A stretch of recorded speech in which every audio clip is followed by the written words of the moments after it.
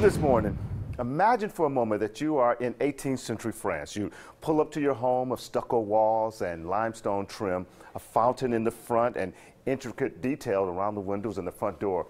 Sounds like a dream home, right? Well, guess what? You can find it right here in the city of Birmingham. Jamie Langley gives us a tour of this year's Decorators Show House.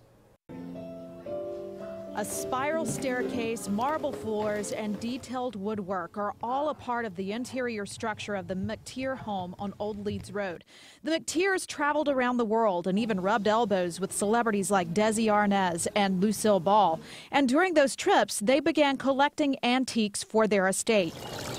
Built in the late 1960s by a Birmingham architect, this French-styled home is a decorator's playhouse with 18 rooms, a secret garden, and a mountaintop view by the pool. 15 designers from Birmingham chose a room and volunteered their services and money to create their masterpiece.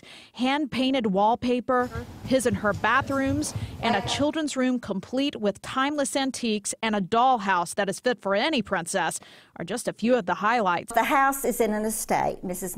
McTeer's estate, and so her family decided to let us use it for the show house. And like I said, it's always hard to find a house that lends itself to being a show house, and this is the ultimate show house, especially for our 40th anniversary. And I like to use the word showstopper because people do not need to miss this house. I'm Jamie Langley reporting CBS 42 News. Well, if you want to see the house for yourself, you can. The 2016 Decorator Show House runs through Sunday. Tickets are $20 and benefit the Alabama Symphony. For more information, go to our website, WIAT.com.